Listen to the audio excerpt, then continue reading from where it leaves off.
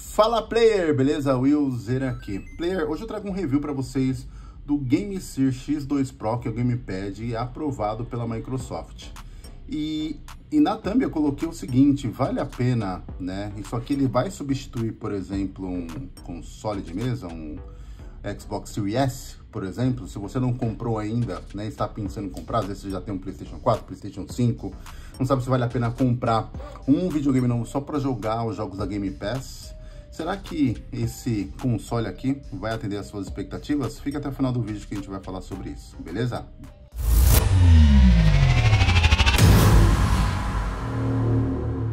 Então, player, vamos lá, vamos falar desse controle aqui. Eu vou trazer para vocês alguns tópicos. Desculpe pela demora em trazer novos vídeos para o canal. Se você acompanha o canal, obviamente, mas é, tive algumas mudanças aí. No decorrer do vídeo eu vou falando para vocês.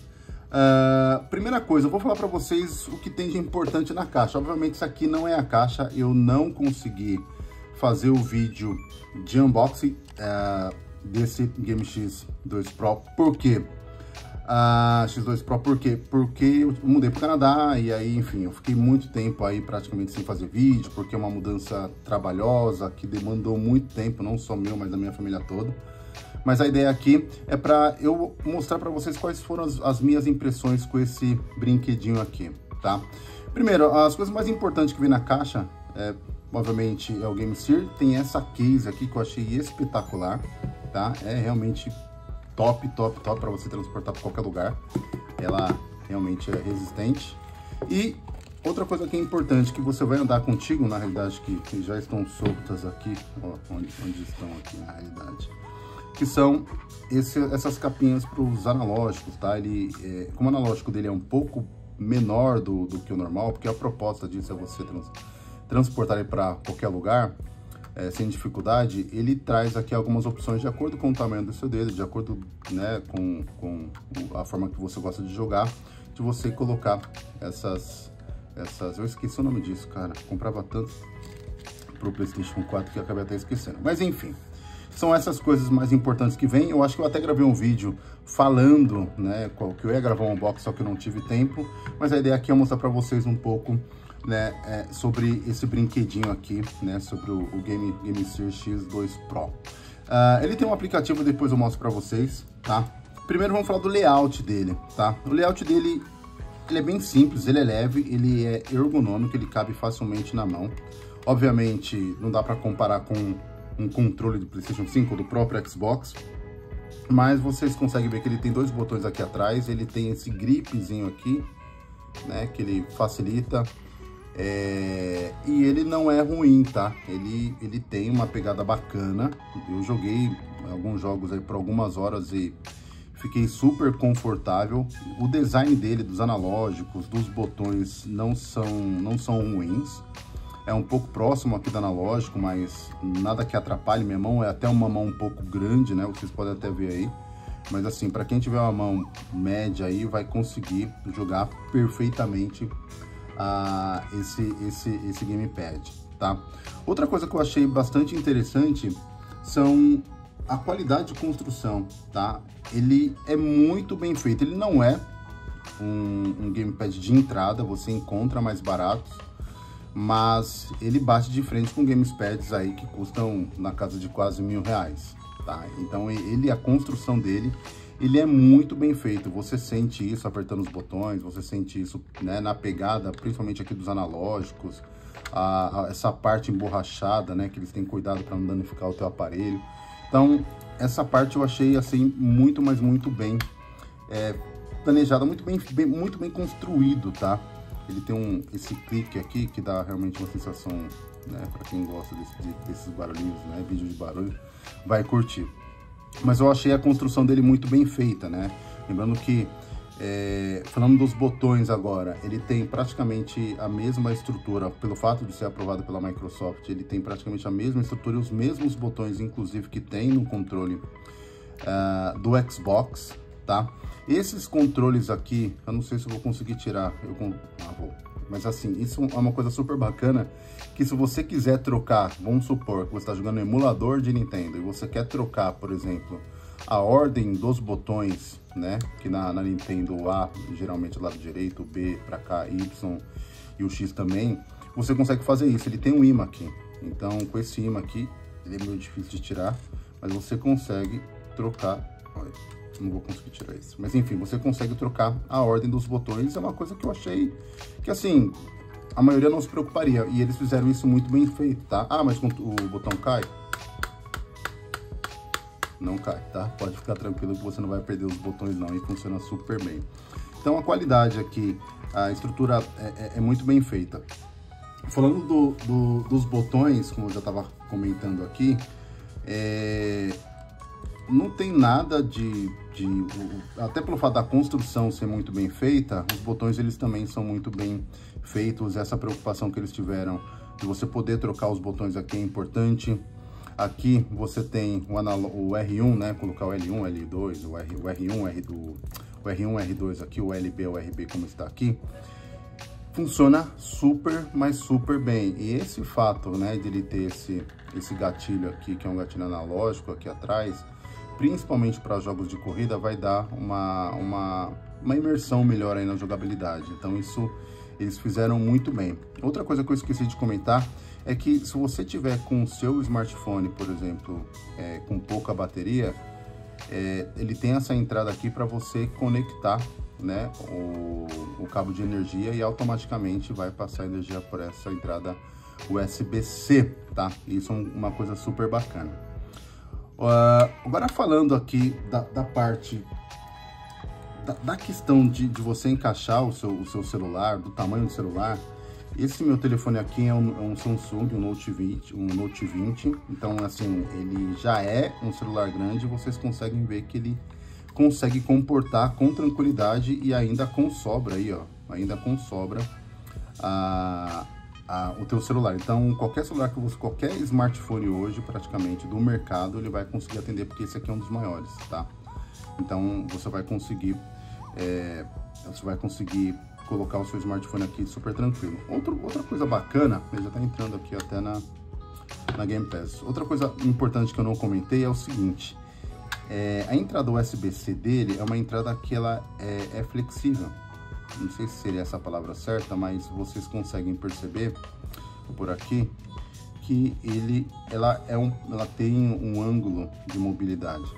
E esse ângulo ajuda muito na hora de você colocar o seu celular aqui, tá? E, e não fica desconfortável, não fica um negócio desengonçado para você se virar todo para conseguir colocar. Eu vou colocar aqui para vocês verem, eu sim, você simplesmente, colocar dessa forma aqui, você simplesmente encaixa, angulou, você consegue encaixar praticamente toda a conexão do celular. Puxou, cara, você faz isso em... é muito simples, tá? Ele é resistente, então quer dizer, ele não cai, tá? Tô segurando só na parte aqui de cima, ele, ele realmente é resistente e você pode jogar com tranquilidade sem deixar ali por algum, é, por algum tempo, sem se preocupar. Então isso aqui é um ponto super importante, tá? Uh, os analógicos eles funcionam super bem, eles têm um, uma profundidade, uma precisão praticamente muito parecida com o controle praticamente do Xbox, tá? Então aqui um ponto importante é que o analógico ele funciona super, mas super bem. Então para jogos de tiro, enfim, para jogos que você realmente utiliza os analógicos e precisa ter precisão, ele vai conseguir atender muito bem a demanda, tá? E pessoal, vamos falar um pouco do app aqui do GameSeer, tá? O app não é nada lá aquelas coisas, tá? Mas aqui no app ele consegue reunir praticamente o que acontece. O, o app ele consegue reunir todos os jogos que você tem instalado no celular, tá? Aqui ele dá aqui algumas opções, mas todos os aplicativos, né, os devices que você tem instalado no celular que você possa jogar o seu jogo, você possa, por exemplo, o Xbox, o Cloud Gaming, eh, o Remote Play ele não funciona infelizmente, mas o GTA Sanders que está instalado aqui, ele vai trazer todos esses jogos aqui e uma vez instalado, você consegue acessar, você consegue praticamente ter toda a sua biblioteca ali de emuladores, de jogos que comportam esse controle aqui, você vai conseguir é, utilizar tá, o seu o seu Game Ser.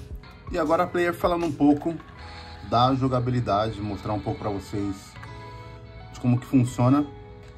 né, para vocês terem uma ideia aí, um look and feel. Coloquei Starfield aqui para rodar. Enfim, vou cortar o vídeo aqui para não ficar carregando muito. Então, player, aqui a gente já consegue ter uma ideia, tá? Já a parte jogável aqui, já passou o tutorial. E aqui vocês conseguem ver, ó, o nível de sensibilidade que eu comentei com você do controle. Ele responde super bem, obviamente a gente tá jogando aqui, eu tô no Wi-Fi. Ele não vai ser, não vai responder exatamente como o console, mas cara, ele, assim, o controle é top. Assim, não tem... Se você pretende, além de jogar, por exemplo, não só jogos da Game Pass, mas também jogar jogos, emuladores, todos os emuladores que eu testei aqui funcionou perfeitamente. E você consegue fazer remapeamento de botões também, que é uma coisa interessante. Então, assim, ele realmente tá assim. Vou colocar um jogo de corrida agora para vocês terem uma ideia também, mas aqui vocês já conseguem ter um pouco, né, da ideia, né, do poder desse desse desse gamepad aqui e ele funciona super bem. O controle do Xbox, né, o botão do Xbox é bem bacana porque ele funciona como se você tivesse realmente no Xbox. Eu vou colocar aqui um jogo um, deixa eu ver, vou colocar um, um jogo da, de corrida. Vamos achar aqui o, o Forza. Então, player, aqui já no, no Forza Horizon, já dá para perceber também o quanto que faz a diferença que eu comentei com vocês, né? Esses gatilhos analógicos, muitos aí tem alguns gatilhos que não são bons. E esse aqui responde, mas muito, muito, muito, muito bem. Muito bem. Então, player, falando aqui das, das minhas conclusões, é, se você quiser, por exemplo, poder jogar praticamente em qualquer lugar, que obviamente que tenha uma rede Wi-Fi, e jogar os jogos da Game Pass, assim como os jogos também emuladores, cara, esse carinha aqui, ele vai dar mais do que conta do recado, tá? Ele vai, de fato, ele, vo, ele é diversão garantida praticamente. Eu mudei pra cá, praticamente, pra vocês terem uma ideia, eu mudei pra cá e eu vendi o meu Xbox. Eu tinha um Xbox Series S lá no, no Brasil e, e eu falei, ah, não vou comprar agora, né? Eu, porque isso aqui ele tá me atendendo super bem. Esse controle aqui ele tá me atendendo super bem para jogar os controles aí, é, para jogar os jogos aí da, do Game Pass. Então, assim, realmente ele substitui, ele não substitui né, em toda a sua totalidade mas ele atende muito, mas muito, muito, muito bem. Se você quiser se divertir, se você quiser jogar, se você quiser terminar um jogo, jogar Starfield, por exemplo, cara, e não precisar, por exemplo, ter que comprar um console, ele vai conseguir atender e muito, mas muito bem, tá? A, a, capacidade, né, quando a gente fala de jogabilidade, esse cara aqui ele não vai decepcionar em nada, tá? Então, se vocês quiserem saber mais informações, na época que eu estive no Brasil, ele chegou praticamente em 15 dias, em 10 dias praticamente, chegou sem problema, né, da, da receita, nem nada. E o link tá na descrição se vocês quiserem comprar e ver mais informações sobre ele, informações mais técnicas, assim, né, que, que às vezes não faz muito sentido aqui para vocês. É, o link tá na descrição. E se vocês comprarem pelo link, obviamente, vocês também vão ajudar o canal, beleza? Então, player, fico por aqui. Se você curtiu o vídeo, não deixe, né, de se inscrever, colocar o seu like aí como a gente fala, e a gente se vê por aí, beleza? Fui!